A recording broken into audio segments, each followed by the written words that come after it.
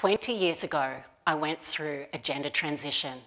For the decade that followed, fear drove me to put a great deal of effort into hiding that specific part of my history. I feared that knowledge of this would lead to unemployment or, at best, hinder my career progression.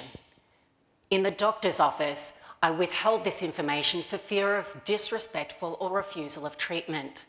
My social identity was a delicate act that I played out for fear of being treated differently or excluded. I also presented a heavily curated version of myself to romantic suitors to avoid being fetishized or experiencing other forms of violence. Keeping my secret was emotionally taxing and damaging to my self-esteem.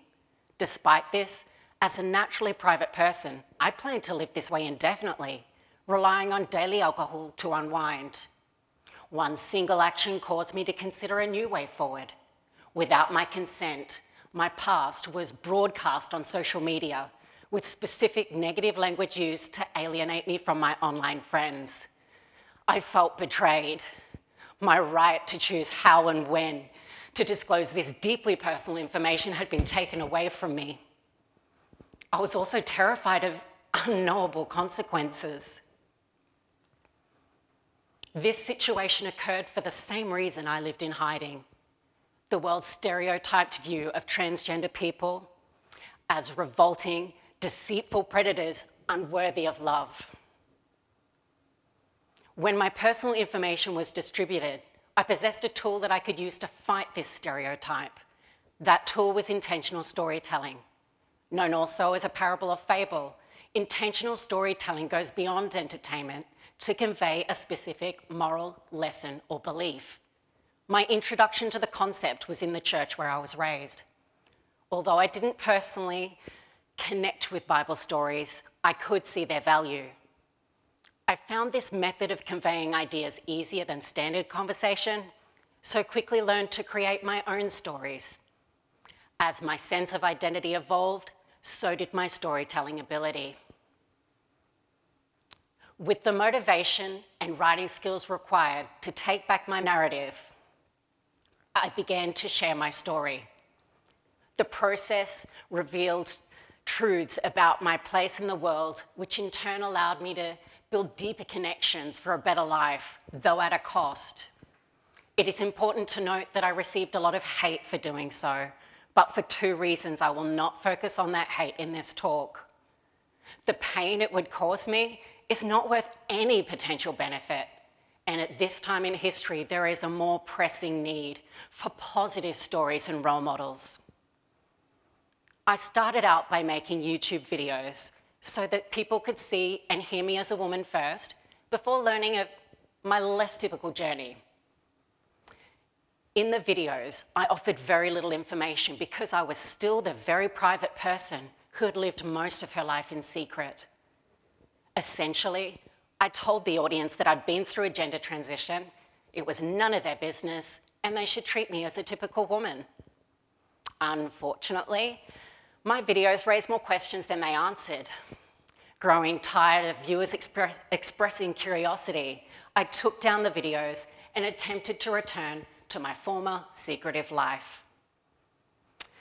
Over the course of a few months, it became apparent that it was no longer possible for me to live as I had before. In both my social life and at work, I was continually approached with questions by people with secondhand information about my gender history. Then it happened while I was drinking socially with colleagues after work. In my drunken state, I allowed my accumulated anger to be released unfiltered. Fearing a future of similar drunken reactions or worse, I decided to take back my story and answer the questions that I've been asked most frequently. With an extensive number of questions to answer, I abandoned videos in favour of an open letter. I carefully considered the specific language I used and mentally prepared myself for possible backlash. I also gave thought to the boundaries I wanted to create and enforce. At first, I shared the letter only with a select audience that I knew would respond well. I progressively widened the audience until the letter was available, public, to anyone at any time to stumble across. As my audience widened, I was frustrated to be faced with even deeper questions. It became apparent that, although they now had a guide to being respectful, many people still couldn't understand how it felt to grow up with a gender that was different from their sex assigned at birth. It also became apparent that people wanted to understand. With so much already out in the open, it seemed a small step forward to write a detailed first person novella of my early life. It was painful to write about the cause of shame and ridicule, but for the purpose, it felt worthwhile. For many readers of my newly published memoir, I was the only known point of contact for related information, advice, and support. What this meant was that I became inundated with social media messages, all from people who wanted me to inform, advise, or support them. For a while, I tried to help everyone who asked. However, I soon realized there would always be someone who was willing for me to prioritize their time and energy over mine.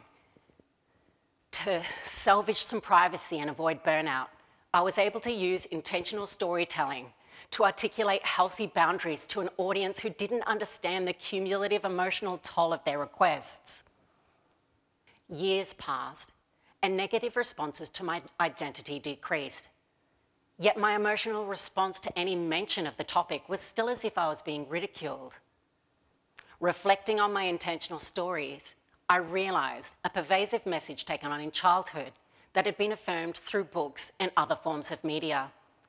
Transgender characters were depicted as morally wrong, broken, or disgusting. I saw nothing of romance, but plenty of dehumanising sexual content. Their trauma filled stories ended either with a stealthy transition or premature death. The message I took from this was that I could only live a good life if I hid my trans identity. Acknowledging this allowed me to purposefully tell new stories to directly oppose this message. My stories also highlighted a power imbalance that existed in every relationship in my life. Trying to make up for my identity I realized I've been supercharging any behavior, interest, or self expression that I thought was feminine and actively moderating the masculine. Little by little, I've made changes to find my best fit. I ditched my heels to live in boots, my handbag to carry a backpack, and no longer felt pressure to attend gendered social events or modify my appearance to meet a standard that aligns with someone else's values. There have been far greater benefits, though. After my gender transition, there were people who caused me distress in every interaction because they couldn't understand who I was and they were not open to learning. The way I've shared my story has allowed me to build a solid support network of people who understand and respect me as a whole person. In terms of healthcare, for many years, I convinced myself that my gender history had no relevance. Writing intentionally about this aspect of life helped me realize that I lacked the medical education to make this call. These days, my regular doctors are equipped with my full story.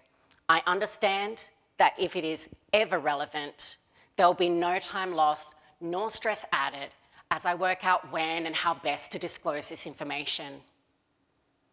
Just three years ago, I had the courage and self awareness required to write an authentic dating app bio.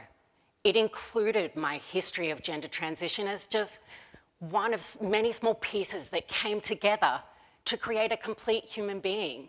That is, a sober, bubbly, compassionate storyteller who loves dressmaking and lived for years without fixed address as a pet sitter. This helped draw in a partner who learned to love and respect me as a whole person. We were also able to use intentional storytelling to introduce me to their family in a way that answered potential questions and articulated firm boundaries for discussion of my gender. Having held the long term belief that I could either be loved or open about my past, this unexpected benefit of love was worth every associated cost of telling my story. If there's a single idea I'd like you to take from this talk, it's that intentional storytelling has the power to counter biased perception and build deeper connections to improve your life. The stories we see, hear, and tell reinforce perception of us, not just by others, but also ourselves. If you are often misunderstood, I urge you to examine how people like you are represented in stories. If you are not represented, consider this. Representation begins with someone telling theirs. And if you are misrepresented, with many people using intentional storytelling, representation will improve. Thank you.